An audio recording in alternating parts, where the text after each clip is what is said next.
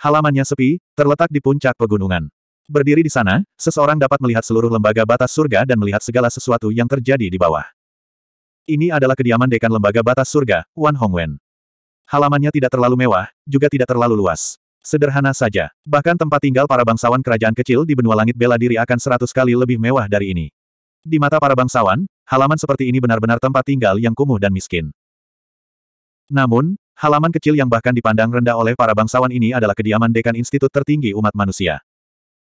Mengikuti penjaga itu, Feng Hao berjalan di sepanjang jalan berkerikil dan berbelok beberapa kali. Di sebuah paviliun, Feng Hao melihat Wan Hongwen, yang pernah dia temui sebelumnya. Saat ini, dia sedang duduk di bangku batu, menyesap anggur dan menatap lautan awan di kejauhan. Ada keanggunan alami pada dirinya. Pada pandangan pertama, dia memiliki sikap yang abadi, sama seperti makhluk abadi yang legendaris. Dari jauh, aroma yang memabukkan tercium. Hanya dengan mengendus aromanya, Feng Hao merasa kakinya seperti melayang. Seolah seluruh tubuhnya terbang. Dia merasa seperti melayang dan wajahnya sedikit memerah. Din, orangnya ada di sini. Ketika mereka sampai di depan pavilion, penjaga berhenti dan dengan hormat melaporkan kedatangannya. N. Wan Hongwen berbalik sambil tersenyum. Kamu boleh pergi. Iya. Penjaga itu menjawab, berbalik, menangkupkan tangannya ke arah Feng Hao, dan melangkah keluar. Feng Hao memenangkan tempat pertama, dan kemuliaan itu bukan hanya untuknya, tetapi untuk seluruh lembaga batas surga dan kediaman kaisar manusia. Tidak sombong, tidak tidak sabar, tidak tidak sabar. Temperamen yang bagus. Sekilas saja, mata Wan Hongwen memancarkan sedikit kekaguman. Faktanya, di turnamen pemeringkatan pendatang baru, dia sudah memiliki pemahaman tertentu tentang Feng Hao. Selain sedikit impulsif ketika menyangkut King Wu dan putrinya, dia juga menunjukkan kebenarannya dalam menangani Dragon Moon Pass, dan persahabatannya dalam berurusan dengan Asura Manor. Wan Hongwen, yang telah melihat banyak orang, belum pernah melihat temperamen seperti ini pada banyak orang, terutama ketika dia adalah seorang pemuda berusia 20-an. Dia sangat penasaran dengan orang seperti apa yang telah mengasuh dan memoles Feng Hao sedemikian rupa. Selain itu, Feng Hao memiliki temperamen yang hampir sempurna. Dia tidak tahu kenapa, tapi di mata Feng Hao yang gelap gulita, dia bisa melihat perubahan-perubahan dalam hidup. Apa yang sebenarnya terjadi padanya? Semakin Wan Hongwen melihatnya, semakin dia menyukainya. Dia berdiri sambil tersenyum, melambai pada Feng Hao, dan berkata, ayo, ikut minum bersamaku. Iya. Feng Hao mau tidak mau akan sedikit terkejut ketika dia melihat dia benar-benar bersikap sopan, dan kemudian dia menangkupkan tangannya dengan sikap yang murah hati. Anak ini mengerti.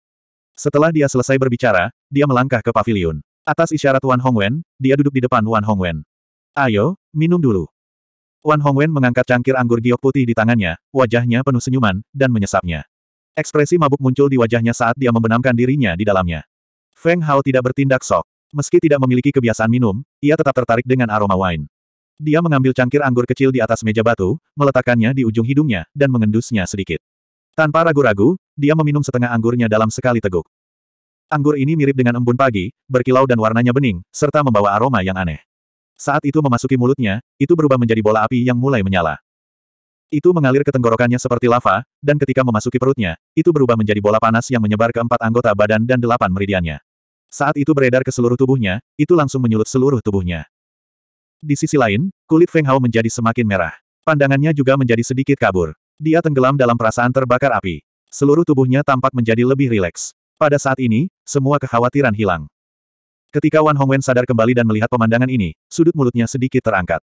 Dia melirik anggur yang sudah diminum Feng Hao setengahnya, dan ekspresi sedih langsung melintas di wajah lamanya. Namun, dia segera pulih, dan wajahnya masih setenang sebelumnya, jauh dari urusan duniawi, sambil menunggu Feng Hao bangun. Anggur ini disebut embun abadi yang mabuk. Artinya bahkan makhluk abadi dan dewa pun akan mabuk setelah meminum embun ini. Ketika Feng Hao sedikit pulih, penjelasan Wan Hongwen terdengar di telinganya. Yang abadi dan dewa juga akan mabuk. Meskipun Feng Hao tidak tahu apakah makhluk abadi dan dewa akan mabuk, jika bukan karena tubuh fisik tertingginya, dia mungkin akan lumpuh di tempat setelah meminum anggur. Alkohol jenis ini di luar dugaannya. Saat ini, setiap sel di tubuhnya seakan terbakar api, membakar tubuhnya hingga kosong, seolah-olah ia telah menyatu dengan dunia luar. Perasaan seperti ini sangat aneh, dan membuat Feng Hao sedikit tidak mau bangun. Oleh karena itu, dalam keadaan linglung, dia sekali lagi mengangkat cangkir anggurnya, dan di bawah tatapan sedih Wan Hongwen, dia juga meminum sebagian kecil dari anggur tersebut. Menutup matanya, dia membenamkan dirinya dalam perasaan melayang di udara. Dalam situasi seperti ini, dia melupakan semua kekhawatirannya, dan benar-benar menyatu dengan langit dan bumi. Berdengung. Dan ketika separuh kecil anggur ini diminum, di otaknya, inti dao bergetar, dan sembilan lubang di tubuhnya beresonansi. Lagu ilahi yang tak terlukiskan terdengar, seolah-olah sedang berkomunikasi dengan langit dan bumi, dan menjadi satu dengan surga dan manusia. Di dalam inti Dao, di dinding bagian dalam, garis dan pola muncul, berkilau, seolah mencerminkan segala sesuatu di dunia. Eh. Mata Wan Hongwen, yang awalnya merasa sakit hati, tiba-tiba berbinar.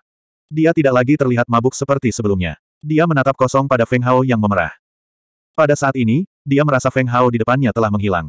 Hanya ada udara di depannya, dan tidak ada apa pun di sana. Dia pikir dia salah, jadi dia menutup matanya dan dengan hati-hati merasakan sekelilingnya. Yang mengejutkannya, dia menemukan bahwa orang di depannya memang sudah tidak ada lagi, seolah-olah dia sudah pergi. Namun, ketika dia membuka matanya, dia menemukan Feng Hao masih duduk di sana, tampak mabuk. Apa yang sedang terjadi? Saat ini, Wan Hongwen benar-benar sadar. Wajahnya dipenuhi keheranan, dan matanya dipenuhi rasa tidak percaya. Setelah memastikan berulang kali, dia menemukan bahwa ini bukanlah ilusi. Orang di depannya jelas menyatu dengan langit dan bumi, seolah-olah dia telah menjadi bagian dari langit dan bumi. Bagaimana ini mungkin? Wan Hongwen segera kehilangan ketenangannya dan membelalakkan matanya. Bahkan ketika Feng Hao terbangun dari keadaan mabuknya, dia masih belum bereaksi. Anggur yang enak. Mata Feng Hao masih kabur, dan dia linglung. Dia mencium aroma wangi, dan matanya menatap ke arah pot anggur kecil di atas meja batu. Tanpa ragu-ragu, dia menuangkan secangkir lagi dan meminumnya dalam satu tegukan. 1402. Hah? Ini adalah dengungan yang sangat aneh, seperti suara pembakaran, atau dengungan rendah langit dan bumi. Tidak ada kekuatan, hanya alam dan cahaya. Namun, di dalam suara alam ini, terdapat niat yang tak terbatas dan tak terbatas, seolah-olah semua sungai mengalir ke laut. Namun, itu sangat halus dan tidak nyata. Ketika cangkir kedua dari Drunken Immortal Dew dituangkan ke dalam mulutnya, Feng Hao merasa semua pori-pori di tubuhnya telah terbuka, dan dia menjadi satu dengan dunia luar. Perasaan ini sangat kabur, bahkan perasaan terbakar api pun melemah. Dalam pikirannya, di dalam daokornya, pembuluh darahnya berkedip-kedip. Mereka seperti gunung dan sungai, seperti lautan luas, seperti langit, dan samar-samar memancarkan pesona yang luar biasa. Dan Feng Hao tenggelam dalam perasaan ini. Seolah-olah dia sudah tidak ada lagi di dunia ini, melainkan berada di dunia lain, di mana segala sesuatu di dunia berada dalam jangkauannya. Gunung dan sungai berputar karena satu pemikiran darinya, dan segala sesuatu ada dan musnah karena satu pemikiran darinya. Seolah-olah dia sendiri adalah dewa tertinggi di dunia ini, dan dao langit dan bumi, serta segala sesuatu di dunia, berada di bawah kakinya, sesuai keinginannya. Perasaan ini sangat aneh, dan dia tenggelam di dalamnya sampai dia tidak bisa membebaskan dirinya, dan tidak mau bangun. Dalam situasi seperti ini, garis-garis di dinding bagian dalam daokor menjadi lebih jelas. Seolah-olah ada sebilah pisau yang perlahan mengukir garis tersebut, menyebabkan garis tersebut menjadi lebih dalam dan lebih jelas. Di saat yang sama, suara pembakaran juga menjadi lebih jelas. Ini Wan Hongwen tercengang, dan baru sadar setelah Feng Hao meminum empat cangkir Drunken Immortal Dew. Dia mengambil kendi anggur kecil di atas meja batu, dan merasakan beratnya. Jantungnya langsung terasa sakit, dan wajahnya mengerut, seolah ada yang baru menggali beberapa potong dagingnya. Dia buru-buru mengembalikan kendi itu ke dalam cincinnya. Embun abadi yang mabuk ini memiliki asal-muasal yang hebat dan tidak sederhana sama sekali. Itu diseduh dari sari daun teh pemahaman Dao kelas atas dan embun pagi. Setetesnya setara dengan satu tael daun teh pemahaman Dao. Satu cangkirnya setara dengan beberapa ratus tael daun teh pemahaman Dao. Dan sekarang, Feng Hao telah meminum tiga atau empat cangkirnya. Bagaimana mungkin dia tidak merasakan sakit hatinya? Panci embun abadi mabuk ini adalah harta karun yang dia simpan selama ribuan tahun. Pada saat ini, dia tahu bahwa Feng Hao akan datang mencarinya, jadi dia mengeluarkannya. Kalau tidak, dia hanya akan minum beberapa tetes ketika dia berkultivasi secara tertutup. Beberapa cangkir ini setara dengan tabungan ratusan tahun. Ada apa dengan anak ini? Beberapa saat kemudian, Wan Hongwen akhirnya menarik emosinya dan mengalihkan pandangannya ke arah Feng Hao, yang sepertinya telah menyatu dengan dunia. Matanya tiba-tiba terfokus, seolah dia ingin melihat menembus dirinya dan menembus dirinya. Namun, di depannya ada kehampaan, seperti udara, tidak ada apa-apa. Apa yang terjadi? Mengapa ini terjadi? Wan Hongwen berpengalaman dan berpengetahuan luas, tetapi dia tidak dapat menjelaskan fenomena yang ada di hadapannya, juga tidak dapat menemukan jawabannya. Mengesampingkan fakta bahwa dia belum pernah melihat situasi seperti ini sebelumnya, tidak ada catatan tentang hal itu bahkan di buku-buku kuno. Dia sangat jelas tentang efek dari embun abadi yang mabuk. Bahkan pada levelnya, itu juga membantu untuk memahami Dao, memungkinkan dia untuk dengan cepat memasuki kondisi pemahaman. Jika dia memahami Dao, bukankah Feng Hao seharusnya mengembangkan Dao petir? Dia tidak mengerti mengapa hal aneh seperti itu terjadi pada Feng Hao. Berapa banyak lagi rahasia yang disembunyikan anak ini? Mata Wan Hongwen berkilat kebingungan. Dia mengingat transmisi suara pelindung ketika dia meninggalkan kompetisi peningkatan pemula, memintanya untuk memenuhi semua permintaan Feng Hao. Meskipun penampilan Feng Hao luar biasa dan dia memang jenius yang langka, di Istana Kaisar, pasti hanya ada satu jenis orang yang memiliki hak istimewa ini, dan itu adalah Master of the Void Martial Arts. Dengan kata lain, status Feng Hao di Istana Kaisar sekarang berada pada level yang sama dengan Master Seni Bela Diri Void. Wan Hongwen memikirkannya lama sekali dan samar-samar menebak beberapa petunjuk, tapi dia tidak bisa memastikannya. Melihat Feng Hao, pikirannya sudah melayang. Setelah beberapa lama, perasaan itu sekali lagi menjadi samar. Feng Hao membuka matanya yang mabuk dan kabur dan menggunakan rutenya sendiri untuk memancing. Namun, dia hanya berhasil menghirup sedikit udara. Dia mencoba memancing beberapa kali tetapi tidak berhasil. Baru kemudian dia menyadari bahwa selain dua cangkir anggur giok putih di atas meja batu, tidak ada apa pun di atasnya. Baru kemudian pandangannya tertuju pada cangkir anggur di depan tubuh Wan Hongwen. Di dalam cangkir, masih ada lebih dari setengah cangkir nektar yang berkilauan. Aromanya menyerang lubang hidungnya, menyebabkan dia menelan ludah tanpa sadar. Wan Hongwen sangat terkejut hingga dia meminum embun abadi yang mabuk dalam satu tegukan. Embun abadi yang mabuk tidak mudah dicerna. Awalnya, dia berpikir akan lebih baik jika Feng Hao, yang hanya seorang sage mortal level 1, bisa meminumnya sedikit pun. Ia sempat mengeluarkan termos hanya untuk pamer, namun siapa sangka ia akan menderita kerugian besar. Apakah orang ini benar-benar monster? Ditatap oleh tatapan aneh Wan Hongwen, Feng Hao juga kembali sadar. Dia sepertinya menyadari bahwa dia telah kehilangan ketenangannya, dan ekspresinya menjadi sedikit canggung. Aku minta maaf atas kekasaranku. Tanpa diragukan lagi, Drunken Immortal Deus sungguh luar biasa. Meskipun dia tidak tahu dari mana asalnya, itu adalah sesuatu yang dihargai oleh Wan Hongwen, dekan lembaga batas surga. Namun, hilangnya perasaan menyatu dengan langit dan bumi membuat Feng Hao merasa sedikit kecewa. Dia menghela nafas dalam hatinya dan menjadi tertarik pada embun abadi yang mabuk. Ini karena dia merasa bahwa embun abadi yang mabuk akan sangat berguna baginya. Oleh karena itu, dia langsung bertanya pada Wan Hongwen, Din, apa itu embun abadi yang mabuk? Bagaimana menurutmu? Wan Hongwen sedikit kesal dan memelototinya. Hatinya sakit. Dia telah membuang begitu banyak cangkir. Jika dia tahu, dia tidak akan mengajak mereka keluar untuk pamer. Dia sangat kesakitan sehingga dia ingin bunuh diri. Eh. Ditatap olehnya, Feng Hao tersenyum malu dan berkata, saya tidak tahu. Din, tolong beritahu saya. Dia memang ingin mendapatkan embun abadi mabuk setelah ini, karena itu akan sangat membantu pencerahannya. Huff. Wan Hongwen mendengus tidak senang dan kemudian kembali tenang. Dia berkata dengan bangga, embun abadi yang mabuk terbuat dari intisari daun teh pencerahan dan diseduh dengan embun pagi. Bahkan jika itu adalah benda biasa, itu sebanding dengan benda suci tertinggi. Benda itu hanya dapat ditemukan oleh beruntung. Tapi embun abadi mabuk milikku adalah yang tertinggi. Satu tetesnya sebanding dengan benda suci tertinggi. Saat dia berbicara, nadanya menjadi lebih serius, seolah-olah dia dengan sengaja mengingatkan seseorang untuk menelan ratusan benda suci tertinggi sekaligus. Bahkan dia tidak mempunyai keberanian untuk melakukannya. Ini, Mendengar hal tersebut, Feng Hao memang kaget hingga tak bisa berkata-kata. Embun abadi yang mabuk ini benar-benar bukan sembarang jenis barang berharga biasa. 1403. Embun abadi yang mabuk sangat berharga karena sangat membantu untuk memahami Dao. Jika kamu dapat meminum satu atau dua tetes setiap kali meminumnya, kamu akan mendapatkan hasil dua kali lipat dengan setengah usaha.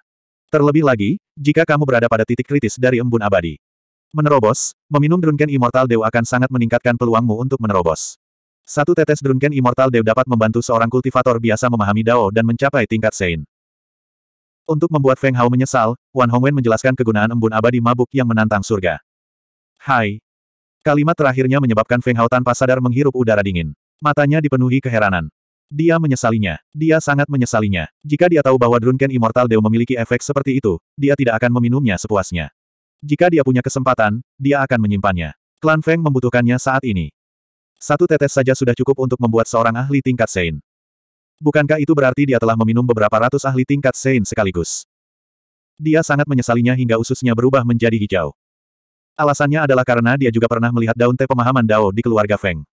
Saat itulah dia pertama kali memasuki keluarga Feng dan membawa kembali persenjataan kekaisaran. Keluarga Feng hanya memberi Feng Heng beberapa dari mereka sebagai kompensasi atas garis keturunan mereka. Itu adalah warisan nenek moyang klan Feng. Biasanya, mereka tidak akan menggunakannya. Hanya mereka yang memiliki peluang tertinggi untuk menembus level Sein yang bisa menikmatinya. Oleh karena itu, Feng Hao tidak ragu bahwa Wan Hongwen berbohong. Ini karena diseduh dari sari daun teh pencerahan dengan kualitas terbaik. Efeknya jauh lebih baik daripada daun teh pencerahan. Seperti yang dia katakan, benda ini hanya dapat ditemukan karena keberuntungan. Itu dianggap sebagai benda ilahi. Hanya mereka yang berdiri di puncak yang memenuhi syarat untuk memilikinya. Apalagi jumlahnya hanya sedikit. Aku terlalu gegabah. Feng Hao tersipu malu. Dia tidak tahu harus berkata apa. Tidak apa-apa, saya hanya berharap empat cangkir embun abadi mabuk dapat membantu Anda dalam jalur kultivasi Anda. Cahaya tak terlihat melintas di mata Wan Hongwen saat dia berbicara sambil tersenyum tipis. Dia sudah bersiap untuk berdarah. Jadi, setelah beberapa saat sakit hati, dia kembali ke keadaan normalnya. Tingkat kultivasinya tidak dapat meningkat banyak. Embun abadi yang mabuk tidak begitu berguna baginya. Terima kasih, Dekan. Feng Hao menangkupkan tangan ke arahnya dan mengucapkan terima kasih dengan tulus. Empat cangkir Drunken Immortal Deus sangat berguna baginya. Dia tampaknya telah mengambil kesempatan untuk memahami Dao dari siklus langit dan bumi. Dapat dikatakan bahwa sejak dia memperoleh pencerahan, dia tidak tahu apa-apa tentang peredaran dunia. Dia juga tidak tahu bagaimana cara memperbaikinya. Namun, peluang yang muncul barusan dan ritmenya memberinya beberapa petunjuk. Mungkin, kesempatan ini, bisa membantunya meningkatkan Dao of the Dao of the Cycle. Dao dari Dao dari Dao. Melihat Feng Hao begitu sopan, suasana hati Wan Hongwen menjadi sangat bahagia. Kesuraman kecil yang dia rasakan sebelumnya berubah menjadi tidak ada dan tidak ada lagi. Setelah merenung sejenak, dia membalik tangannya dan sekali lagi mengeluarkan pot anggur giok putih. Dia menuangkan satu cangkir penuh untuk Feng Hao. Setidaknya ada 70 hingga 80 tetes. Namun, Feng Hao tidak tahan meminumnya bagaimanapun caranya. Jika dia membawanya kembali ke klan Feng, itu akan meningkatkan jumlah orang suci fana di klan tersebut. Bagaimana dia bisa meminumnya? Ahem, Din, bolehkah aku membawa pergi bocah ini? Feng Hao terbatuk ringan dua kali dan tanpa malu mengajukan permintaan. Oke. Wan Hongwen terkejut, tapi dia segera pulih dari keterkejutannya dan tertawa keras. Tentu saja. Terima kasih, Dekan. Feng Hao sangat gembira. Dia dengan hati-hati menyimpan cangkir embun abadi mabuk ke dalam cincinnya dan duduk di sana dengan senyuman di wajahnya. Jumlah ahli tingkat Sein di klan Feng dapat dihitung dengan jari. Di dunia primordial, mereka tidak memiliki kemampuan untuk melindungi diri mereka sendiri. Beberapa kekuatan berukuran sedang dapat dengan mudah membasmi klan Feng. Dan sekarang, jika cawan embun abadi mabuk ini dikirim kembali ke klan Feng, maka pasukan biasa tidak akan bisa melakukan apa pun terhadap klan Feng. Adapun kekuatan besar, selama mereka mendengar pencapaiannya di Akademi Surgawi melalui saluran tertentu, tidak ada yang berani menyentuhnya. Saat dia memikirkannya, senyuman di wajahnya semakin lebar. Jika ada benda suci seperti embun abadi mabuk tingkat tertinggi, Feng Chen dan Su mungkin bisa naik ke tingkat orang suci dan memperpanjang umur mereka. Faktanya, bagaimana mungkin Wan Hongwen tidak mengetahui pikiran Feng Hao? Beberapa hari yang lalu, setelah memastikan bahwa Feng Hao telah kembali, dia memeras tiga dekan lainnya. Kemudian, dia pergi ke dunia primordial dan menanyakan keberadaan Feng Hao. Dia sangat tersentuh. Prestasi pemuda ini seakan melegenda. Pada saat yang sama, dia juga memahami situasi klan Feng di dunia primordial. Oleh karena itu, dia menuangkan secangkir lagi untuk Feng Hao. Tujuannya adalah untuk membantu Feng Hao. Bocah ini punya permintaan lain. Setelah mengobrol sebentar, Feng Hao berbicara lagi. Oh, Wan Hongwen sudah menebak sebagian besarnya. Matanya berkedip dengan kebijaksanaan saat dia melihat Feng Hao. Kamu ingin mengeluarkan misi untuk mengumpulkan bahan-bahan untuk menyembuhkan racun pemakan jantung, kan? Itu benar. Feng Hao sedikit terkejut. Kemudian, dia mengangguk dengan berat dan memohon, saya harap dekan menyetujuinya. Ini masalah kecil. Sebuah cahaya terang melintas di mata Wan Hongwen, dan dia berkata, kamu telah membantu Istana Kaisar Fana milikku mendapatkan tempat pertama dalam kompetisi pendatang baru dan membangun kembali prestise kita. Ini adalah masalah kecil, dan aku dapat melepaskan poinnya untukmu. Namun, bahan-bahan ini tidak cukup untuk menghilangkan racun pemakan hati. Mau tak mau dia curiga bahwa pemuda seperti itu sudah menjadi apoteker tingkat surga.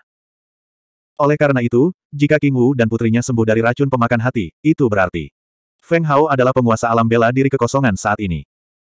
Ini karena hanya penguasa alam bela diri kekosongan yang dapat mengendalikan buku pengobatan Senong yang tertinggi. Di masa lalu, Dewa Alam Bela Diri Kekosongan sangat penyanyang.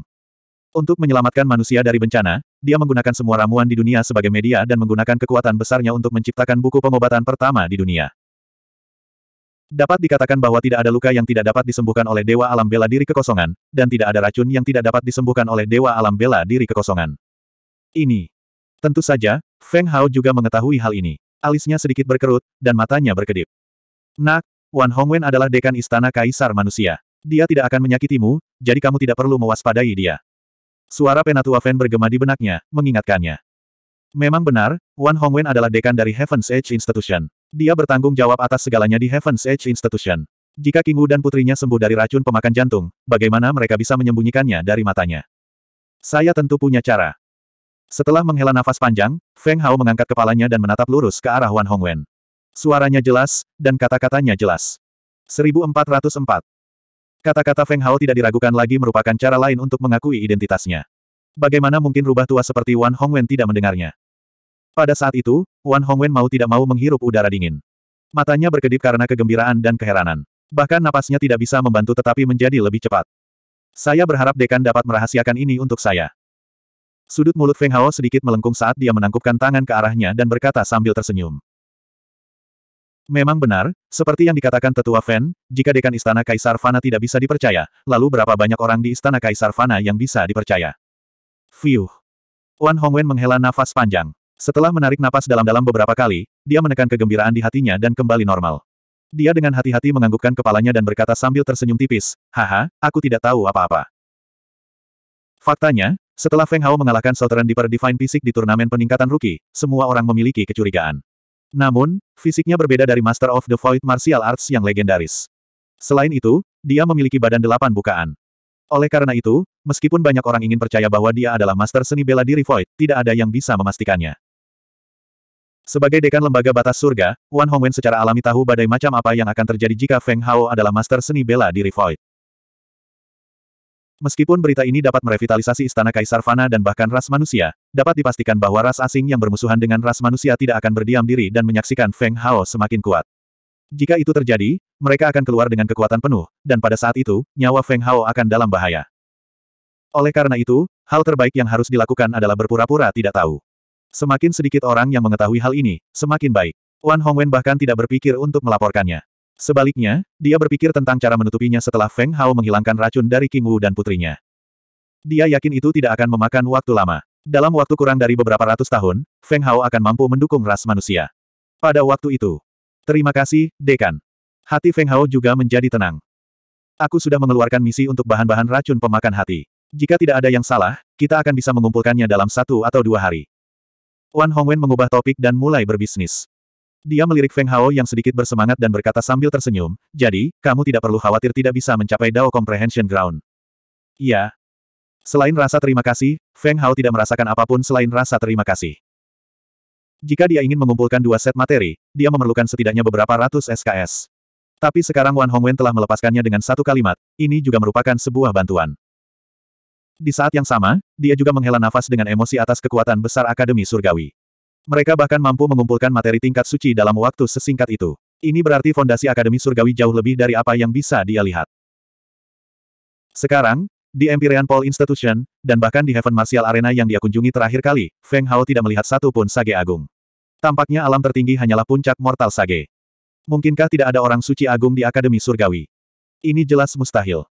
Akademi Surgawi mengumpulkan para elit dari seluruh ras manusia. Meskipun sulit untuk menerobos ke alam Sage Agung, pasti ada eksistensi yang telah menembus alam Sage Agung. Hanya saja keberadaan tersebut tidak berpindah-pindah di dunia luar. Mungkin, hanya ketika dia mencapai alam Sage Agung barulah dia dapat benar-benar memahami alam seperti apa alam Sage Agung itu.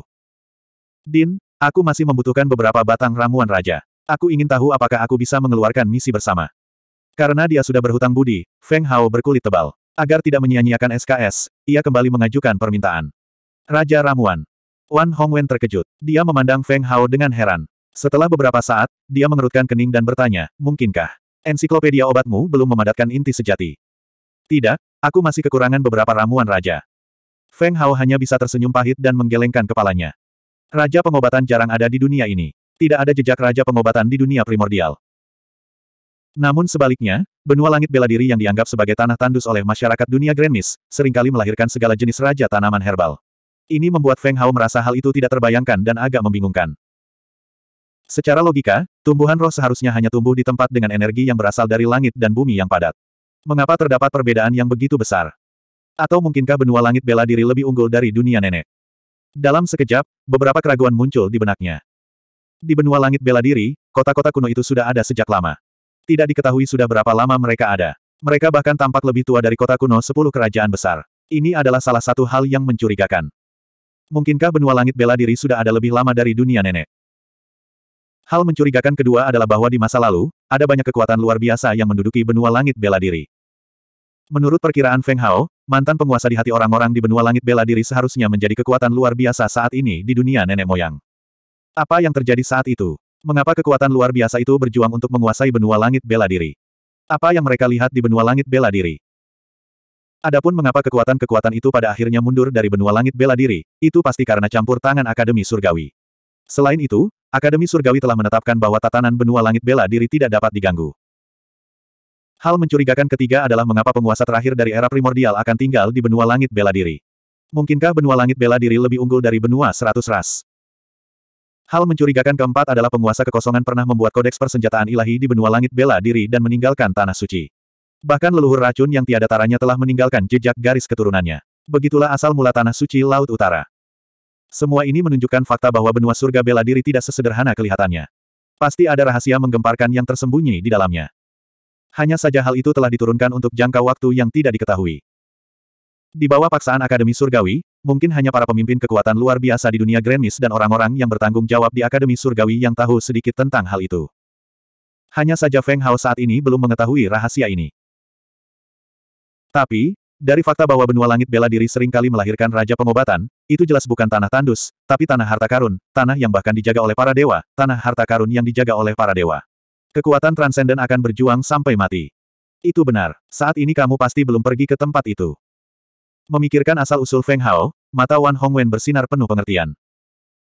Bagaimana mungkin seorang bocah nakal yang baru saja tiba di benua seratus ras bisa mengumpulkan begitu banyak tumbuhan spiritual? 1405. Tempat. Mendengar ini, Feng Hao merasa sedikit aneh dan bertanya dengan kepala penuh kabut. Dekan, di mana itu? Hehe. Wan Hongwen terkekeh dan matanya berbinar. Raja segala obat, ramuan abadi Senong. Kamu belum mendapatkannya, kan? Ramuan abadi Senong. Jantung Feng Hao berdetak kencang. Bagaimana mungkin dia tidak tahu tentang ramuan abadi Senong? Ramuan abadi Senong menduduki peringkat pertama di antara Raja Pengobatan. Karena itu, ensiklopedia kedokteran pertama diberi nama Senong. Saya tidak mengerti. Feng Hao menggelengkan kepalanya dan menatapnya dengan wajah penuh harapan. Dia belum pernah mendengar tentang ramuan abadi Senong. Seolah-olah ramuan abadi Senong tidak ada sama sekali. Selain itu, di Medical Saint Secret Grounds, Feng Hao mendengar dari empat lelaki tua bahwa ramuan abadi Senong hanya bisa tumbuh di Immortal Grounds. Namun, Feng Hao tidak mengetahui detailnya. The Immortal Grounds benar-benar ada di dunia ini. Ada terlalu banyak legenda tentang makhluk abadi. Kembali ke benua langit bela diri, Feng Hao percaya akan keberadaan yang abadi. Namun, dia sekarang tahu bahwa keabadian hanyalah mitos belaka. Itu adalah legenda tertinggi. The Immortal Grounds adalah tanah yang berada di atas alam ekstrim. Itu benar-benar ada di dunia ini. Din, apakah Anda punya berita tentang ramuan abadi Senong? Melihat Wan Hongwen tersenyum tanpa mengucapkan sepatah kata pun, Feng Hao menjadi sedikit cemas dan bertanya. Tentu saja.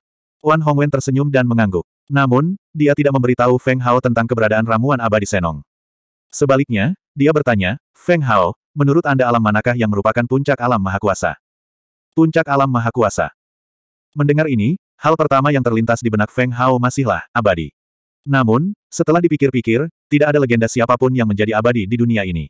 Oleh karena itu, dia berkata, Guru Ilahi. Dasar bodoh, kapan aku memberitahumu bahwa puncak tertinggi adalah Guru Ilahi? Saat suaranya memudar, raungan marah penatua Fen bergema di benaknya. Itu terlalu memalukan. Hehe. Wan Hongwen tersenyum dan menggelengkan kepalanya. Dia pernah ke dunia Grand Mist sebelumnya, jadi dia secara alami tahu asal-usul Feng Hao. Dia juga memahami bahwa Feng Hao mungkin tidak melakukan kontak dengan level ini. Semua orang berpikir bahwa di dunia ini, hanya guru ilahi dari berbagai ras yang dihormati, tapi bukan itu masalahnya. Sementara Feng Hao masih linglung dan belum pulih dari auman penatua Fen, penjelasan Wan Hongwen terdengar di telinganya. Dewa ilahi memang tak terkalahkan di dunia. Dia adalah yang terkuat dari seratus ras dan berdiri di puncak, mewakili kekuatan tertinggi dari berbagai ras. Namun, jika Anda benar-benar ingin mengatakan bahwa mereka mewakili ekstrim, maka Dewa kuno adalah eksistensi yang melampaui ekstrim dan berdiri di atas Dao Agung, nomor dua setelah Dewa. Dia telah melampaui batas dan berada di atas Dao Agung. Mata Feng Hao dipenuhi dengan keterkejutan dan ketidakpercayaan. Para Dewa Kuno. Ini adalah pertama kalinya dia mendengar judul seperti itu. Din, alam manakah Dewa Kuno itu? Apakah memang ada Dewa Kuno di dunia ini? Dia bertanya, ingin mengetahui kebenarannya. Tentu saja, Dewa Kuno itu ada. Wan Hongwen berhenti tersenyum dan melirik Feng Hao, yang masih penuh keraguan dan keraguan. Kamu pasti pernah mendengar tentang legenda penciptaan langit dan bumi kan? Penciptaan langit dan bumi. Feng Hao kaget, lalu dia mengangguk. Tentu saja saya pernah mendengarnya. Dalam buku-buku kuno, ketika langit dan bumi pertama kali berevolusi, terjadi kekacauan. Tidak ada kehidupan, dan segala sesuatu bergantung padanya. Ia diciptakan oleh dewa bernama Pangu, yang lahir dari kekacauan. Dia membagi kekacauan, dan langit dan bumi memiliki energi spiritual, yang melahirkan segala sesuatu. Begitulah dunia saat ini terbentuk. Samar-samar, Feng Hao sepertinya memahami sesuatu. Pandangan awalnya yang ragu-ragu di matanya juga berubah menjadi cahaya cemerlang. Benar, Pangu adalah dewa kuno pertama di dunia ini. Wan Hongwen mengangguk dan menjelaskan, dewa kuno adalah makhluk hidup yang lahir dari kekacauan sebelum penciptaan langit dan bumi. Karena langit dan bumi belum diciptakan, dan dao besar belum terbentuk, mereka berada di atas langit dan bumi. Dan dao agung. Mereka adalah eksistensi tertinggi sejati di dunia ini. Wan Hongwen adalah dekan Akademi Surgawi, jadi dia secara alami mengetahui beberapa rahasia yang tidak dapat dibandingkan dengan orang biasa. Jika dia tidak menyebutkan dewa kuno yang dia bicarakan, Feng Hao tidak akan tahu tentang keberadaan transenden seperti itu. Namun menurut legenda, setelah dewa kuno Pangu menciptakan langit dan bumi, kesaktiannya habis dan dia tertidur lelap. Sejak itu, tidak ada kabar tentang dia. Oleh karena itu, banyak kontroversi. Tentang dewa kuno Pangu, tidak ada yang bisa memastikan apakah dia benar-benar ada. Mungkin, dia hanyalah eksistensi tertinggi yang dibuat-buat untuk memecahkan misteri penciptaan langit dan bumi. Setelah berhenti sejenak, dia melanjutkan, namun, sebelum Dewa Kuno Pangu lahir dalam kekacauan utama ini, sudah ada tiga roh Yuan. Yang pertama adalah Dewa Kuno Hong Jun. Dia terbentuk dari ki jernih langit dan bumi. Yang kedua adalah Dewa Kuno Hun Kun. Dia terbentuk dari ki spiritual mendalam langit dan bumi. Yang ketiga adalah Dewa Kuno Nuwa. Dia terbentuk dari ki kehampaan langit dan bumi yang mendalam. Ketiga Dewa Kuno mewakili tiga energi sebelum terciptanya kekacauan, jelas, spiritual, dan kekosongan. Mereka berdiri di atas dao besar dan disembah oleh semua ras di dunia. Menurut legenda, seratus ras dari seratus ras benua semuanya diciptakan oleh ketiga dewa kuno ini. Mendengar rumor tersebut, pikiran Feng Hao sedikit kacau. Dia linglung, dan bahkan tidak jelas. Namun secara umum, dia memahami bahwa dewa kuno adalah eksistensi tertinggi. Semua makhluk hidup di dunia lahir dari ketiganya. Menurut legenda, mereka bertiga telah mengambil jalan lurus dan naik ke posisi abadi. Jika memang ada dewa di dunia, maka hanya ketiga dewa kuno ini yang merupakan dewa abadi. Tiga area terlarang dari seratus benua ras adalah jalan masuk mereka menuju dunia abadi-abadi. Namun, ketika dia mendengar ini, Feng Hao bergumam di dalam hatinya, menganggapnya sebagai mitos. Mungkin dunia telah mengarang tiga dewa kuno untuk menjelaskan asal-usul tiga wilayah terlarang. Selain itu, banyak orang percaya bahwa tiga area terlarang adalah jalan menuju dunia abadi-abadi. Gelombang demi gelombang orang masuk, tetapi tidak ada yang memperoleh hasil apa pun. Tidak masalah jika kamu tidak mempercayainya. Namun, ramuan Dewa Petani berhubungan dengan ketiga dewa kuno ini. Wan Hongwen tersenyum tipis dan kembali ke topik utama. Ketiga dewa kuno ini ada di tanah abadi yang sama. Ramuan Dewa Petani hanya bisa ditemukan di tanah abadi ini. Benar-benar ada tanah abadi. Feng Hao kaget. Dia tidak punya pilihan selain mempercayai legenda ketiga dewa kuno ini. Mungkin rumornya terlalu sulit dipercaya, tapi ketiga dewa kuno ini pasti ada di dunia ini. 1406. Yang abadi adalah makhluk tertinggi yang tidak turun ke dunia fana dan memandang rendah semua makhluk hidup. Yang abadi adalah abadi dan ada untuk selamanya. Mereka tidak turun ke alam fana dan berdiri di atas semua makhluk hidup. Tanah abadi secara alami adalah tanah tempat lahirnya makhluk abadi. Mereka tercemar dengan energi abadi dan merupakan keberadaan transenden yang dapat melahirkan benda abadi. Ramuan abadi Senong hanya dapat dilahirkan dari tanah yang abadi. Tiga dewa kuno dalam legenda mungkin bukan makhluk abadi, tetapi mereka tidak berbeda dengan makhluk abadi. Mereka adalah eksistensi yang berdiri di atas semua makhluk hidup dan dao agung langit dan bumi. Tanah yang melahirkan tiga dewa kuno juga seperti itu. Legenda mengatakan bahwa sebidang tanah ini telah ada sejak permulaan zaman. Itu adalah tanah abadi nomor satu dan asal mula dunia ini. Tanpa dasar yang abadi, dari mana ramuan abadi itu berasal? Wan Hongwen tidak bisa menahan diri untuk tidak memutar matanya saat mendengar kata-kata Feng Hao. Sebagai penguasa kehampaan dan pemilik Gadli Armageddon, bagaimana mungkin orang ini tidak memiliki pengetahuan paling dasar? Bagaimana dia mendapatkan kekuatannya dan siapa yang mengajarinya? Sementara itu, Feng Hao sekali lagi dimarahi oleh Penatua Fen. Ini terlalu memalukan baginya. Baiklah, jangan bertanya lagi. Minta saja dia membantumu mengumpulkan ramuan dan bahan spiritual lainnya. Penatua Fen takut dia akan terus mengajukan pertanyaan dan mengungkap ketidaktahuannya sehingga dia segera menghentikannya. Uhuk-uhuk. Feng Hao mengusap pelipisnya dan berdeham. Dia kemudian mengepalkan tinjunya pada Wan Hongwen, terima kasih telah memberitahuku ini, aku akan mengingatnya. Mem. Perubahannya begitu cepat hingga Wan Hongwen terkejut. Dia menatapnya dengan ekspresi aneh. Mungkinkah anak ini tahu di mana Immortal Grounds berada? Sedetik yang lalu, dia bahkan tidak tahu di mana Immortal Grounds berada dan detik berikutnya, dia dipenuhi rasa percaya diri. Hal ini membuat Wan Hongwen sedikit curiga dan dia tidak mengerti apa yang sedang dilakukan Feng Hao. Saya serahkan urusan materi dan ramuan spiritual lainnya kepada Anda, kepala sekolah. Feng Hao sangat ingin tahu lebih banyak tentang Immortal Grounds jadi dia berdiri dan mengucapkan selamat tinggal pada Wan Hongwen. Baiklah, kamu bisa datang dan mengambilnya dalam dua hari, tidak peduli jam berapa sekarang. Meski Wan Hongwen terkejut dengan reaksinya, dia tidak bertanya banyak. Dia berdiri dan mengangkat gelas anggur di tangannya ketika dia melihatnya buru-buru berjalan ke pavilion. Rumah Kaisar Fana akan mencapai puncaknya lagi. Sepertinya aku harus membuat beberapa persiapan. Sudut mulutnya sedikit melengkung. Dia mengambil teko anggur kecil lagi, menuang secangkir kecil untuk dirinya sendiri, dan meminumnya sepuasnya. Menguasai. Saat mereka berjalan, Feng Hao dengan cemas memanggil Penatua Fen. Tuan, apa yang terjadi antara Kaisar kuno dan alam abadi? Menurutmu ini hanya legenda. Setelah beberapa saat, suara Penatua Fen terdengar langsung di benaknya. Itu sangat tenang dan tanpa emosi. Iya. Feng Hao juga tercengang karena dia bisa mendengar keanehan dalam suaranya. Sepertinya seluruh masalah ini tidak sesederhana yang dia kira. Apakah ketiga dewa kuno itu benar-benar fiktif karena tiga kawasan terlarang besar? Sejujurnya, jika Penatua Fen tidak bertanya, Feng Hao akan menganggapnya sebagai dongeng. Tapi sekarang setelah Penatua Fen mengingatkannya, pasti ada alasan di balik masalah ini. Saya dapat memberitahu Anda dengan jelas bahwa ketiga kaisar kuno itu memang ada. Namun, karena alasan yang tidak diketahui, mereka menghilang, mengakibatkan berkembangnya era seratus ras. Suara Penatua Fen terdengar perlahan seolah dia sedang mengingat beberapa kenangan dari dalam pikirannya. Setelah sekian lama, dia bertanya lagi, tahukah kamu asal-usul umat manusia? Asal-usul umat manusia. Feng Hao tidak begitu mengerti arti kalimat ini. Tidak ada seorang pun yang dapat menjelaskan bagaimana semua makhluk hidup terbentuk. Menurut catatan kuno berbagai ras, ras manusia lahir dari tiga dewa kuno. Legenda mengatakan bahwa umat manusia lahir dari tanah liat ilahi lima warna milik dewa kuno Nua, salah satu dari tiga dewa kuno. Kita juga satu-satunya makhluk hidup yang lahir dari dewa kuno. Di bawah tatapan kaget Feng Hao, Penatua Fen melanjutkan, ras manusia berbeda dari ras lain. Kita dilahirkan lemah dan tidak memiliki kekuatan ilahi atau kemampuan ilahi. Namun, ras manusia adalah ras yang paling dekat dengan alam. Oleh karena itu, dibandingkan dengan ras kuat lainnya, ras manusia tidak monoton seperti mereka. Kita bisa mengembangkan semua jenis dao besar. Namun, saya tidak mengerti mengapa Dewa Kuno Nua menciptakan ras manusia sendirian.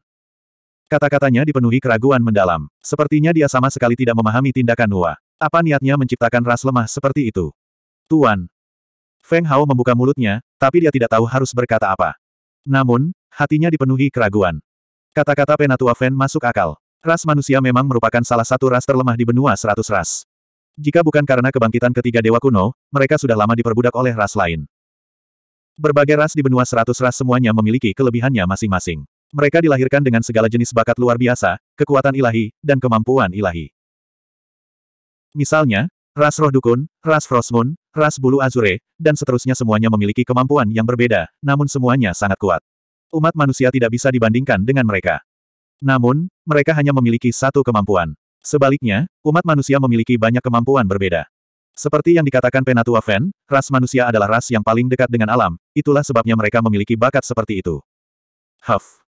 Penatua Fen tidak bisa menahan diri untuk tidak mendengus pelan ketika dia melihat reaksi Feng Hao. Ada alasan mengapa Nua menciptakan umat manusia. Ada alasannya. Feng Hao benar-benar tercengang. Dia tidak pernah membayangkan bahwa umat manusia akan memiliki asal-usul yang begitu agung. Mereka sebenarnya diciptakan oleh Nua, salah satu dari tiga dewa kuno, dan salah satunya. Hal ini tidak mengherankan. Banyak ras yang tampaknya iri dengan umat manusia. Seolah-olah mereka tidak tahan melihat kekuatan umat manusia, jadi mereka menggunakan segala macam cara untuk menekan umat manusia. Dengan demikian, catatan kuno umat manusia menyatakan bahwa umat manusia telah banyak mengalami bencana.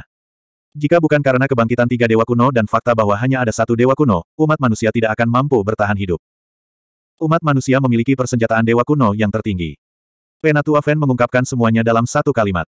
Persenjataan dewa kuno adalah puncak dari senjata. Bahkan dewa kuno pun bukan tandingan mereka. Mereka telah melampaui batas dan berdiri di atas dao agung dunia.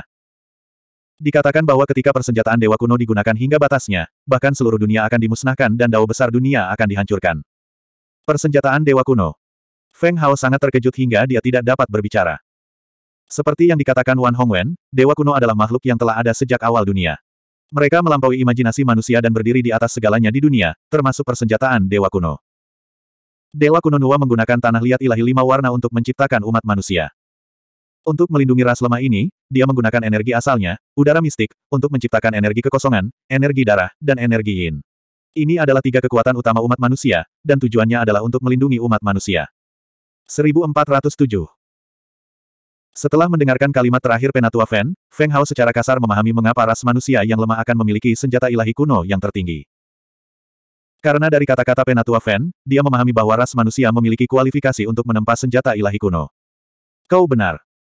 Senjata ilahi kuno ras manusia ditempa oleh Dewa Kekosongan, Dewa Asura, dan Raja Hades, menggunakan tanah liat ilahi lima warna yang ditinggalkan oleh Dewi kuno Nua untuk menciptakan ras manusia. Namanya adalah Batu Nua. Suara Penatua Fen dipenuhi dengan keseriusan dan semangat, dan sepertinya ada sedikit kegembiraan. Ini adalah pencapaian paling membanggakan dari ras manusia. Memiliki senjata ilahi kuno adalah alasan mengapa ras manusia bisa berkembang. Namun, semua ini lenyap setelah lenyapnya ketiga dewa penguasa. Jika tidak, ras manusia mungkin bisa naik ke posisi tiga teratas dari seratus ras. Batu Nua. Feng Hao langsung mengukir nama ini di dalam hatinya dan mengingatnya dengan kuat. Ekspresinya dipenuhi kegembiraan. Ini adalah senjata ilahi kuno yang berdiri di atas segalanya. Jika muncul, itu akan mengejutkan dunia dan menghancurkan semua belenggu. Ini juga alasan mengapa Akademi Elysium selalu dikendalikan oleh tiga istana, Istana Hades, dan Istana Asura. Bahkan ketika Istana Kaisar Manusia berada pada titik terendah dan dibayangi oleh istana lainnya, mereka tetap tidak bisa menggantinya. Karena batu Nuwa mengharuskan ketiga dewa penguasa untuk menggunakan energi ilahi mereka pada saat yang sama dan mengubahnya menjadi udara mendalam untuk mengaktifkan kekuatan tertinggi senjata ilahi kuno. Kata-kata Penatua Fen secara langsung menyelesaikan semua keraguan di hati Feng Hao. Memang benar, berdasarkan situasi saat ini, jika Istana Kaisar Manusia berada pada titik terendah dalam seribu tahun terakhir, Istana Hades hanya perlu memberikan sedikit pukulan dan Istana Kaisar Manusia akan diusir dari Elysium, panggung tertinggi di dunia.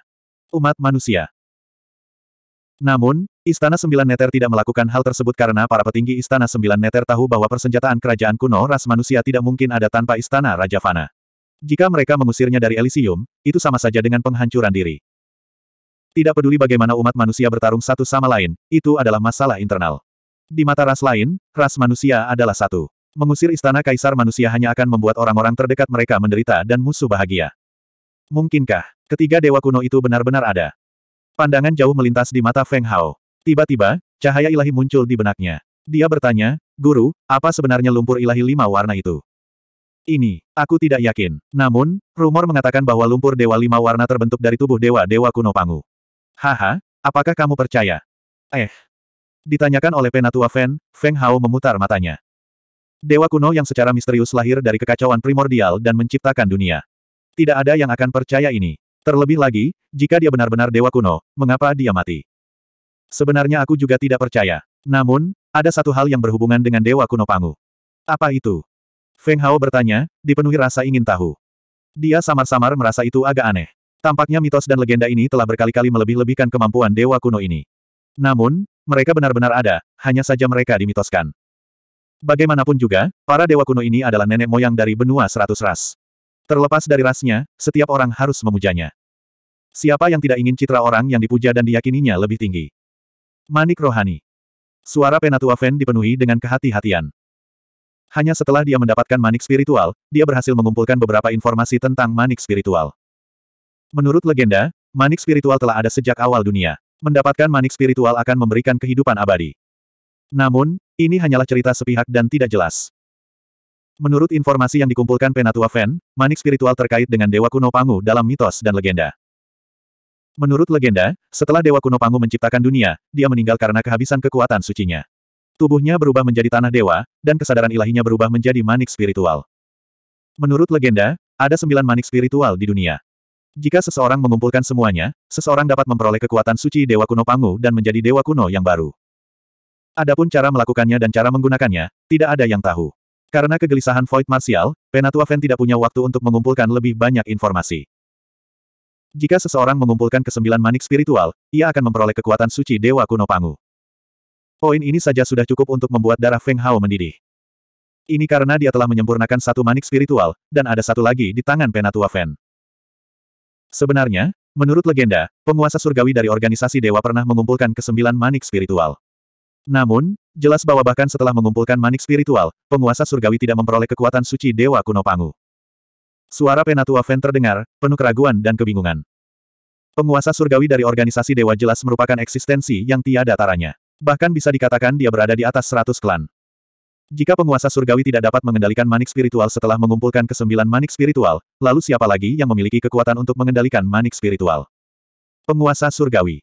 Ini bukan pertama kalinya Feng Hao mendengar nama ini. Karena penguasa surgawi maka organisasi dewa bisa eksis di dunia ini begitu lama. Tuan, alam macam apa yang telah dicapai oleh penguasa surgawi? Apakah dia, seorang dewa kuno? Feng Hao bertanya dengan hati-hati, bahkan memperlambat langkahnya. Tidak. Penatua Fen berkata dengan percaya diri. Namun, meskipun Yang Mulia Surgawi tidak masuk ke alam dewa kuno, mereka setidaknya setengah dari dewa kuno. Itu karena organisasi surgawi memiliki senjata dewa kuasi kuno. Itu sebabnya mereka bisa bertahan begitu lama. Dengan kata lain, Dewa Kuasi kuno tidak berada di atas Jalan Agung Langit dan Bumi. Namun, itu telah melampaui batas dan setara dengan Jalan Agung Langit dan Bumi. Oleh karena itu, dapat dianggap sebagai eksistensi yang telah melampaui batas. Terkesiap. Meski begitu, Feng Hao tidak bisa menahan diri untuk tidak menghela nafas lega saat ekspresi terkejut melintas di matanya. Meskipun penguasa surgawi belum melampauinya, bagi semua orang, dia sudah melampauinya. Selain para dewa kuno yang berada di atas jalan besar langit dan bumi, siapa lagi yang bisa menekannya? Ini sudah cukup. Itu sudah cukup baginya untuk dibanggakan dan diwariskan selama berabad-abad. Pada titik ini, Feng Hao memiliki pemahaman kasar tentang dunia ini. Pangu menciptakan langit dan bumi, Hong Jun, Kun, dan Nuwa menciptakan seratus klan. Tentu saja, mungkin ada beberapa hal di dunia ini yang tidak diketahui orang lain. Namun, dia belum mencapai level itu, jadi dia tidak memahaminya. Tuan, di manakah tanah abadi ini? Setelah menenangkan pikirannya yang gelisah, Feng Hao dipenuhi dengan rasa ingin tahu tentang tanah abadi yang telah melahirkan tiga dewa kuno. Di langit. Ketika dia mendengar kata ini, Feng Hao tanpa sadar mengangkat kepalanya dan menatap langit tak berawan. Saat ini, cuaca cerah dan langit seterang cermin biru. Itu luar biasa dan luas. Meski berada tepat di hadapannya, namun sebenarnya tak terduga dan tak terukur. 1408. Tuan, tidak ada alam abadi. Feng Hao merasa bahwa dia ditipu oleh Penatua Fen. Mata ungunya bersinar, tapi dia tidak bisa melihat apa pun. Cakrawala tidak ada habisnya, dan tidak ada yang namanya alam abadi. Alam abadi tidak ternoda oleh debu dan tidak ada di dunia fana. Ia ada di balik awan sembilan surga. Anda dapat melihatnya dengan mata telanjang. Penatua Fen mengejeknya karena melebih-lebihkan dirinya sendiri. Lalu bagaimana aku bisa menemukan alam abadi? Feng Hao berhenti dan bertanya dalam pikirannya. Bahan-bahan lainnya dapat dikumpulkan dalam dua hari, tetapi dia tidak dapat menunda penyembuhan racun pada King Wu dan putrinya hanya karena ramuan abadi Dewa Petani yang terakhir. Sebenarnya kamu belum memiliki kualifikasi untuk memasuki tempat itu. Suara Penatua Fen agak pelan. Tidak memenuhi syarat. Feng Hao tercengang, dan matanya dipenuhi keheranan. Dia seperti matahari di langit, orang yang paling mempesona di Elysium. Jika dia tidak memiliki kualifikasi untuk memasuki tempat itu, lalu berapa banyak orang di Elysium yang bisa? Huff. Penatua Fen mendengus, kualifikasi minimum untuk memasuki tempat itu adalah alam orang suci agung. Kamu hanyalah orang suci fana tingkat pertama. Kecuali orang suci agung bersedia membawamu ke sana, kamu tidak akan bisa pergi dengan kekuatanmu yang sekarang. Dunia. Apa? Bagaimana ini mungkin? Mata Feng Hao hampir keluar, dan dia hampir menangis. Tempat macam apa itu? Bahkan untuk memasukinya diperlukan seseorang untuk berada di alam suci agung. Mungkinkah itu bahkan lebih kuat daripada langit dunia bawah yang misterius? Penglai. Penatua Fen hanya melontarkan dua kata ini dan tidak melanjutkan. Penglai, tempat apa itu? Feng Hao bergumam pada dirinya sendiri. Tanpa sadar, dia sudah kembali ke pintu masuk halaman rumahnya. Oh, hehe. Dari jauh, dia mendengar suara tawa yang berlebihan. Dalam sekejap, semua pikirannya terlempar ke belakang kepalanya. Meskipun dia telah memperhalus tubuhnya, kulitnya merinding saat ini. Guru. Mengangkat kepalanya, Feng Hao melirik dan menyadari bahwa sumber tawa itu adalah halaman kecil tempat dia, Qiong Linger dan yang lainnya tinggal. Aku ingin tahu apakah dia akan setuju. Alisnya sedikit berkerut, tapi dia tetap berjalan cepat menuju halaman rumahnya. Feng Hao tidak terlalu percaya diri untuk meminta bantuan Liu Chanyan. Namun, jika dia bisa mendapatkan bantuan dari dewa ini, maka tidak ada yang perlu dikhawatirkan. Bahkan jika dia bertemu orang-orang dari organisasi dewa yang mulia lagi, dia tidak perlu khawatir. Meskipun wanita menawan ini hanya seorang guru dari Heaven's Infinity Institute di permukaan, kemampuannya tidak bisa diremehkan. Dia bahkan bisa menekan pelindung istana Dewa Racun hanya dengan auranya. Tidak semua orang mempunyai kemampuan ini. Meskipun Feng Hao tidak tahu seberapa tinggi ranah guru cantiknya, mudah untuk melihat bahwa bahkan jika dia bertemu seseorang dari organisasi abadi yang agung, dia pasti akan mampu melakukan perlawanan. Seperti yang diharapkan, di ruang tamu, Feng Hao melihat Liu Chanyan memeluk Little King Meng dan bermain dengan gadis kecil itu. King Meng kecil tidak takut sama sekali. Sebaliknya, dia sangat senang bermain dengannya. Wajah kecilnya memerah karena kegembiraan, dan tawanya terdengar terus-menerus. Namun di antara keduanya, Tawa mereka yang satu membuat bulu kuduk berdiri, sedangkan yang lainnya bagaikan mata air jernih di pegunungan, menyegarkan dan menyegarkan. Perbedaannya tidak hanya sedikit. Guru. Sudut mulut Feng Hao bergerak-gerak, tapi dia tetap menyapanya dengan sopan. Meskipun Liu Chanyan tampaknya tidak peka, itu hanya permukaannya saja. Tidak ada yang tahu apa yang dia pikirkan di dalam hatinya, dan siapa dirinya yang sebenarnya. Namun, apa yang Feng Hao yakini adalah bahwa dia beruntung memiliki guru seperti itu. Dia sama sekali tidak menyesali pilihannya. Jika bukan karena Liu Chanyan, Joan of Arc dan yang lainnya tidak akan bisa berkembang secepat itu. Apa, apakah ada sesuatu? Liu Chanyan menoleh dan meliriknya. Kemudian, dia kembali menghilangkan jerawat Little King Meng. Ada sesuatu yang aku butuh bantuanmu. Feng Hao melirik sekilas ke arah Qiong Linger dan wanita lainnya, yang memasang ekspresi khawatir, sebelum dia berbicara. Apa itu? Liu Chanyan tidak berbalik dan bertanya dengan santai. Saya ingin meminta Anda untuk membawa saya ke Penglai. Setelah Feng Hao menghela napas, dia berkata dengan serius. Penglai. Mata Yan King berkedip karena keheranan, memperlihatkan ekspresi keheranan. Saya tidak punya waktu. Liu Chanying menolak tanpa ragu-ragu. Dia melambaikan tangannya, memberi isyarat kepada Feng Hao untuk tidak mengganggunya. Oh. Jejak kesedihan melintas di mata Feng Hao. Dia tersenyum pahit, tapi dia tidak berani memaksanya. Memang benar, guru yang santai ini tidak akan memperlakukan tubuh delapan lubangnya sebagai harta karun. Sepertinya tidak ada yang bisa menggerakkan hatinya. Selain itu, dia memiliki kepribadian yang eksentrik. Jika dia terus berbicara, dia mungkin akan memukulinya. Kakak Liu. King Meng kecil, yang berada di pelukan Liu Chanyan, berhenti terkikik saat melihat Feng Hao seperti ini. Dia membuka matanya yang cerah dan menatapnya. Apa? Liu Chanyan menyipitkan matanya yang panjang dan sipit, seolah dia tidak merasakan apa pun. Namun, bentuk sapaan ini membuat Feng Hao dan yang lainnya merasa sedikit tidak nyaman. Senioritasnya berantakan, dan orang yang telah hidup demi Tuhan ini tahu berapa lama. Sebenarnya berani menyetujuinya. Saudari. Apakah dia semudah itu? Joan of Arc dan yang lainnya bergumam di dalam hati. Saudari Liu, bisakah kamu membantu ayahku? King Meng kecil mengedipkan matanya. Dia tampak seperti malaikat kecil, dan orang-orang merasa kasihan padanya. Hal yang sama terjadi pada Liu Chanyan. Dia tidak tega melepaskannya. Aku mohon padamu, ku mohon. Gadis kecil itu memegang tangan rampingnya dan menjabatnya. Suaranya sedikit malu-malu, dan itu meluluhkan hati Liu Chanyan. Oke, oke, aku berjanji padamu, oke. Liu Chanyan tidak tahu apakah itu tipuan King Meng kecil yang tidak bisa dia tolak, atau karena alasan lain, tapi Liu Chanyan sebenarnya setuju setelah tindakan centil gadis kecil itu. Bocah cilik, kamu hanya tahu bagaimana menyia-nyiakan waktu gurumu. Liu Chanyan dengan ganas mencium pipi merah muda King Meng kecil beberapa kali sebelum berdiri. Ekspresinya berubah secepat membalik halaman buku. Dia berkata dengan marah, saya sangat tidak beruntung telah menerima kalian para siswa yang tidak berguna. Setelah mengatakan itu, sebelum Feng Hao bisa bereaksi, dia menyelimutinya dengan auranya. Keduanya langsung menghilang dari kamar tamu, seolah-olah telah berubah menjadi kepulan asap dan menghilang tanpa jejak. Sepertinya saudara Hao akan memilih ramuan abadi Senong. Melihat tempat Feng Hao menghilang, Yan King bergumam pada dirinya sendiri.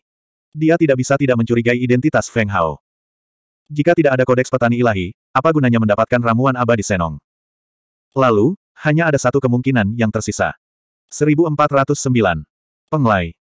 Dalam legenda benua seratus ras, itu adalah eksistensi yang mirip dengan dunia abadi. Bagi orang awam, mereka yang bisa memasuki penglai adalah dewa. Terlihat penglai luar biasa. Di dunia ini banyak rumor yang beredar tentang penglai. Kebanyakan dari mereka berhubungan langsung dengan dewa. Adapun di mana penglai berada, tidak ada yang tahu. Oleh karena itu, hal ini menambah banyak misteri pada penglai. Sebelum Feng Hao sempat bereaksi, dia merasa seperti sedang menaiki awan. Dia naik dengan gila-gilaan menuju langit. Ketinggian ini di luar imajinasi seseorang. Langit biru yang semula ada di depan mata begitu jauh, selalu tak terjangkau dan tak tersentuh. Tampaknya tidak ada habisnya dan tidak terbatas. Bahkan dewa sejati pun tidak akan bisa lepas dari belenggu dunia ini. Dalam waktu singkat, Feng Hao merasakan kekuatan tarikan. Seolah-olah ada kekuatan yang sangat kuat yang menekannya, ingin menghancurkannya. Bahkan organ dalamnya merasakan tekanan yang tak terlukiskan, menyebabkan napasnya menjadi sedikit tidak lancar. Desis, desis. Suara yang sangat memekakkan telinga terdengar di telinganya. Ibarat dua jenis logam yang saling bergesekan, bahkan menimbulkan percikan api. Di depan mata Feng Hao, pemandangannya sangat kabur. Dia hanya bisa melihat warna merah menyala, seolah sekelilingnya terbakar. Suhu meningkat hingga ekstrim, dan penglihatannya menjadi sedikit terdistorsi. Ke mana kita akan pergi? Jantung Feng Hao berdebar-debar. Dia merasa jika bukan karena Liu Chanyan, tekanan di sekitarnya bisa menghancurkannya. Seperti yang dikatakan Penatua Fen, tanpa alam sage agung, tidak ada seorang pun yang memenuhi syarat untuk memasuki tempat ini. Dan tekanan di sekelilingnya sudah tidak kalah dengan Suan Ming Sky. Mungkinkah, penglai berada di luar angkasa? Seperti yang dia duga, jantung Feng Hao tidak bisa menahan diri untuk tidak bertambah cepat. Di luar langit, itulah tempat legendaris di mana para dewa tinggal. Jika penglai berada di luar angkasa, bukankah itu adalah tanah abadi? Saat dia memikirkannya, matanya tiba-tiba menjadi cerah. Dunia yang seperti surga muncul di hadapannya. Gunung-gunung tinggi dan sungai-sungai yang mengalir terbentang sejauh mata memandang. Itu seperti lukisan yang indah, begitu indah sehingga tidak bisa ditiru. Pada saat yang sama, ki spiritual yang sangat padat langsung menekan tubuh Feng Hao, menyebabkan kakinya menjadi berat. Dia hampir tersandung dan jatuh. Untungnya, dia memiliki tubuh fisik yang luar biasa. Ada suara mendengung di dalam, dan ada lapisan cahaya kemasan samar di sekujur tubuhnya. Baru pada saat itulah dia berhasil bertahan dan tidak mempermalukan dirinya sendiri. Ini. Dunia di hadapannya dan tekanan pada tubuhnya menyebabkan mata Feng Hao melebar. Dia tidak bisa bereaksi. Siapa sangka sebenarnya ada dunia lain di langit. Tanah di bawah kakinya, air terjun dan sungai di kejauhan, serta burung dan binatang di hutan semuanya nyata, bukan ilusi. Lebih penting lagi, tekanan kuat dari langit dan bumi membuatnya sulit bereaksi. Namun, di bawah lingkungan yang begitu kuat, tanaman yang tampak biasa ini ternyata mampu tumbuh secara normal. Dari sini terlihat betapa luar biasa mereka. Guru, ini penglai. Feng Hao melirik Liu Chanyan di sampingnya, dan matanya langsung bersinar karena takjub. Saat ini, Liu Chanyan tidak memiliki senyuman di wajahnya. Sebaliknya, wajahnya dingin dan tegas, seolah dia telah menjadi orang lain. Saat ini, dia masih mengenakan gaun ketat berwarna hijau muda, yang dengan sempurna menggambarkan lekuk tubuhnya yang indah. Di bawah gaun itu ada sepasang kaki panjang seputih salju dan mempesona yang membuat hati seseorang merasakan dorongan membara. Sabuk hijau tua diikatkan di pinggang rampingnya, menyebabkan pinggang rampingnya terlihat lebih jelas. Temperamennya luar biasa, dan dia sangat menawan seperti peri. Bahkan dengan temperamen Feng Hao, dia tidak bisa menahan perasaan sedikit emosional. Dia hanya bisa memalingkan wajahnya. Aum. Sebelum Liu Chanyan dapat berbicara, suara gemuruh keras terdengar dari hutan di kejauhan. Suara itu mengguncang langit, dan seluruh hutan bergetar. Selanjutnya, Feng Hao melihat binatang buas mirip macan tutul hitam berjalan keluar dari kedalaman hutan. Mata coklatnya dipenuhi dengan ketidakpedulian seperti manusia. Otot-otot yang bergoyang di tubuhnya, yang panjangnya 3 hingga 4 meter dan tinggi hampir 2 meter, memberikan kesan seperti baja, memberikan dampak visual berupa kekuatan ledakan. Seolah-olah gerakan acak darinya dapat menghancurkan langit dan bumi. Feng Hao tidak ragu bahwa macan tutul iblis ini dapat dengan mudah mencabik-cabiknya.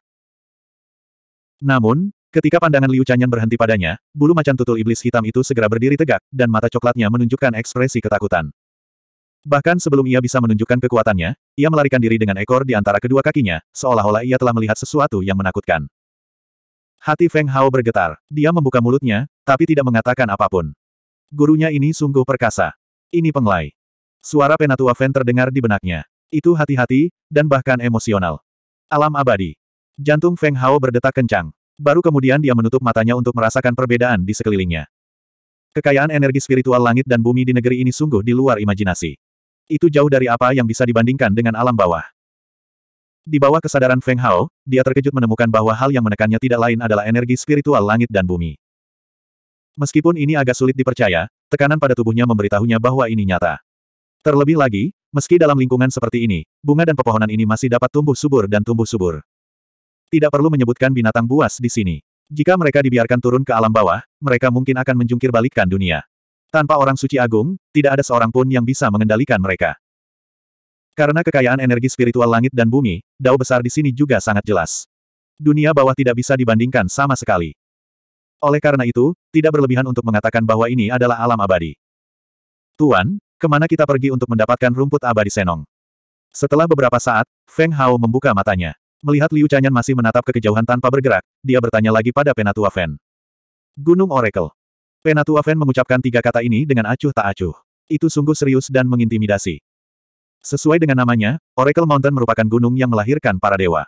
Terlebih lagi, para dewa ini bukanlah dewa biasa, mereka adalah dewa kuno tertinggi di dunia. Ayo pergi. Setelah memasuki tempat ini, Liu Chanyan tidak banyak bicara. Auranya mengunci Feng Hao, dan dia membawanya saat dia terbang menuju selatan. 1410. Gunung Oracle. Konon tempat kelahiran ketiga dewa kuno cukup terkenal di Penglai. Namun, gunung ini diselimuti oleh cahaya ilahi sepanjang tahun, dan orang biasa tidak bisa masuk sama sekali. Bahkan tokoh puncak Saint Realm akan terhalang, dan hanya orang yang ditakdirkan yang bisa masuk. Bagaimanapun, ini adalah tempat yang bisa melahirkan dewa-dewa kuno. Bahkan para dewa dan kaisar dari zaman legenda tidak bisa masuk jika mereka tidak ditakdirkan, apalagi manusia biasa. Namun, siapa pun yang memasuki penglai akan datang ke sini untuk mencobanya. Karena bisa memasuki Gunung Oracle mewakili kekayaan besar, dan seseorang bisa mendapatkan pertemuan yang sangat kebetulan di gunung tersebut. Setidaknya setengah dari dewa dan kaisar telah memasuki Gunung Oracle pada zaman legenda. Tentu saja, beberapa dari mereka memiliki bakat alami yang luar biasa ketika mereka masuk, tetapi kebanyakan dari mereka memiliki bakat alami yang pas-pasan sebelum mereka masuk. Namun, tanpa kecuali, semuanya melonjak hingga ke puncak setelah mereka masuk seperti naga yang terbang ke sembilan langit. Tentu saja, Feng Hao saat ini tidak memahami cerita-cerita ini. Dari jarak ribuan kilometer, Feng Hao melihat sinar sembilan warna memancar ke langit, dan itu mewarnai langit dengan cerah. Ketika dilihat dari jauh, sepertinya dia sedang melihat dunia abadi-abadi. Jika kamu tidak takut mendapat masalah, gunakanlah penampilan aslimu. Liu Chanyan melambat saat dia mendekati gunung, dan suara sedingin es keluar dari mulutnya. Oh! Feng Hao tercengang. Meskipun dia terkejut karena Liu Chanyan telah berubah seperti ini, dia masih menggunakan seni seribu wajah yang dia peroleh bertahun-tahun yang lalu, dan kebetulan itu mampu mengubah penampilan dan bahkan tinggi badannya. Bang, bang, bang. Mengikuti serangkaian suara ledakan dari tulangnya, seluruh tubuh Feng Hao segera berubah, berubah menjadi pria jangkung, kurus, berwajah kuning yang berusia sekitar 40 tahun. Kenapa kamu menjadi begitu jelek? Di sampingnya, Liu Chanyan, yang penampilannya sedikit berubah, namun masih sangat cantik, meliriknya dan langsung merasa jijik. Orang ini benar-benar tidak tahu apa yang baik untuknya. Aku cantik, jadi kenapa aku harus bersama pria jelek seperti itu? Eh. Feng Hao juga tercengang. Penatua Feng juga tertawa dalam pikirannya, yang membuatnya merasa sangat malu. Karakter instruktur cantik ini sungguh luar biasa aneh. Apakah saya perlu terlalu memperhatikan perubahan penampilan setelah saya pergi ke Oracle Mountain? Selain itu, bukankah lebih baik menghindari menarik perhatian jika saya sedikit lebih jelek dan lebih biasa? Mau bagaimana lagi? Dari kelihatannya, jika dia tidak berubah, guru eksentrik ini mungkin akan meninggalkannya di sini. Itu sangat mungkin terjadi.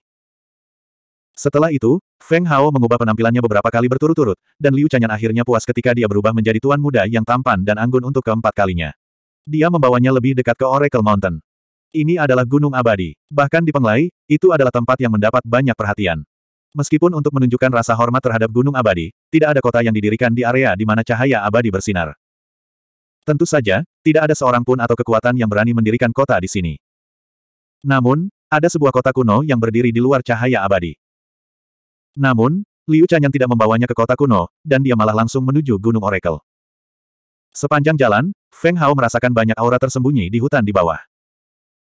Tanpa kecuali, semuanya adalah eksistensi yang sangat tangguh, dan itu bukanlah eksistensi yang mampu dia ganggu saat ini.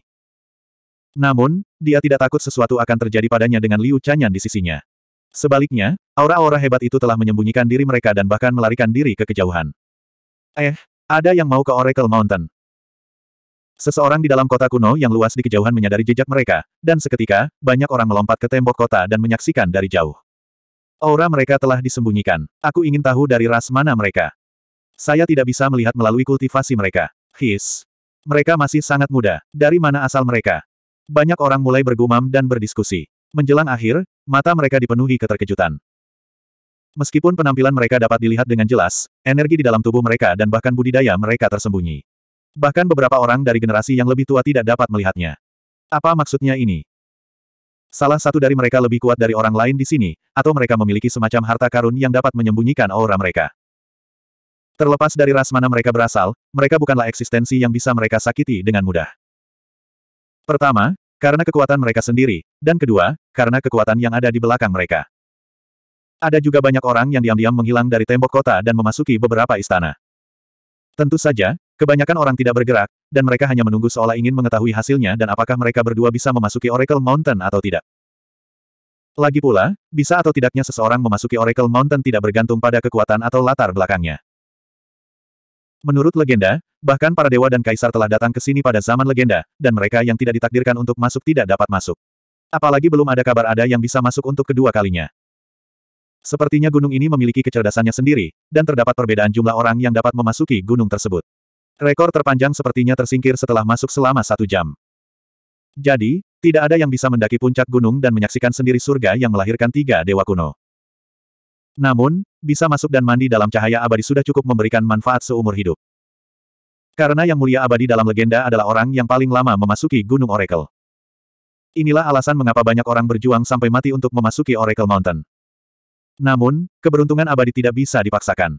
Mereka yang tidak bisa masuk tidak bisa masuk seumur hidup mereka, sedangkan mereka yang bisa masuk bisa masuk tidak peduli seberapa rendah budidaya mereka. Cahaya abadi yang mempesona dan cemerlang menerangi sembilan langit dan membersihkan segala sesuatu. Segala sesuatu di area ini ditutupi oleh cahaya abadi, dan dipenuhi dengan vitalitas. Sepertinya seluruh gunung, bebatuan, pepohonan, tumbuhan, dan bunga menjadi hidup. Pengenalan Oracle Mountain oleh Penatua Fen bergema di benaknya, dan Feng Hao tidak dapat tenang saat dia menatap gunung di kejauhan. Dia tidak pernah membayangkan bahwa Oracle Mountain sebenarnya memiliki latar belakang yang begitu hebat. Terlebih lagi, jika dia bisa masuk, maka dia sebenarnya bisa mendapatkan keuntungan yang praktis menantang surga. Tuan, maka Anda sudah memasuki Oracle Mountain. Feng Hao tidak bisa menahan rasa ingin tahu di dalam hatinya dan bertanya dalam pikirannya. Jika tidak, lalu bagaimana buku persenjataan ilahi milikku bisa menyingkat inti sejati? Kata-kata Penatua Fen membawa sedikit kebanggaan. Sebenarnya, bisa memasuki Oracle Mountain bukan sekadar bentuk pembersihan oleh cahaya abadi. Yang terpenting, itu adalah bentuk pengakuan atas bakat alami seseorang. Karena tidak ada orang yang bisa memasuki Oracle Mountain yang merupakan seorang jenius biasa-biasa saja.